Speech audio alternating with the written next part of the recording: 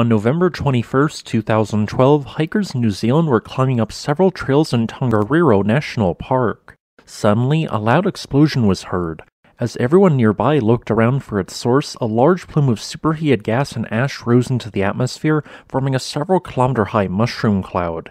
While this was occurring, superheated gas and ash clouds raced across the landscape, burning everything in a 1,000 meter radius. What had just occurred was an unexpected volcanic eruption from the same complex used as a stand in for Mount Doom in the Lord of the Rings trilogy. What I am referring to is Tongariro, which is the second most active volcano on the North Island of New Zealand. The eruption which occurred on that day in 2012 was relatively small, as older eruptions created vast explosion craters which are up to 2 kilometers wide. The Tongariro volcano can be found in the central section of the North Island of New Zealand, where it is 116 kilometers west northwest of the city of Hastings.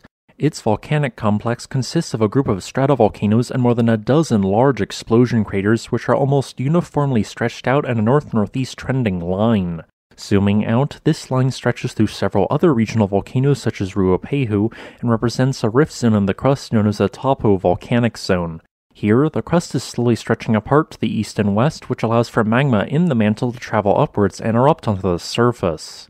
The Tongariro volcanic complex began forming approximately 350,000 years ago, when at the time the Ruapehu volcano to the south had yet to begin forming. Tongariro's first eruption occurred when a volume of this deep magma erupted onto the surface in an explosive manner.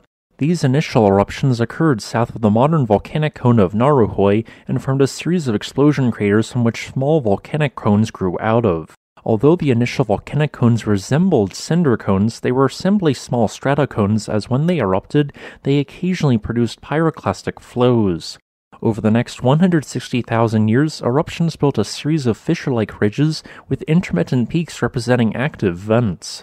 These eruptions covered large swaths of land and andesite lavas, which, due to their relatively high viscosity, left behind a distinctive appearance. Then, 185,000 years ago, volcanism shifted several kilometers to the north. The subsequent phase of activity expanded the existing volcanic ridge, but also began constructing a broad volcanic cone.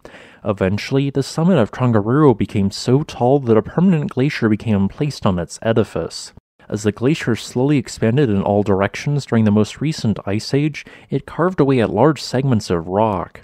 Eruptions continued during this period, but largely occurred underneath the glacier, resulting in large glacial outbursts of water and highly explosive eruptions. Around 40,000 years ago, a new volcanic cone erupted away from the same line of activity which defines this volcanic complex. Six kilometers to the west, the satellite volcanic cone known as Pukeonake erupted andesite lava.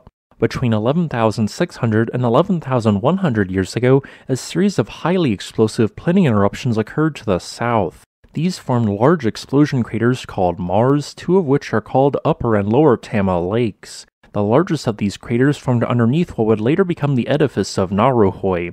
Beginning 7,000 years ago, this large explosion crater became the center of volcanic activity.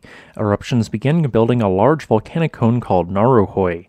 These eruptions only became more common 2,500 years ago, after which near continuous eruptions built the stratovolcano into the tallest peak of the overall complex. During the 1900s, this volcanic cone produced volcanic explosive eruptions which produced pyroclastic flows 45 times. After going no longer than seven years without a distinct eruption at its peak, this volcanic cone stopped erupting in 1977. Some scientists think that this cone will never erupt again due to the period of dormancy it has had, although magmatic earthquake swarms have occurred underneath its edifice, indicating the presence of shallow magma. The two most recent eruptions in 2012 occurred at the upper Te craters. At the present, a surprise volcanic eruption could begin with little or no warning anywhere in Tongariro.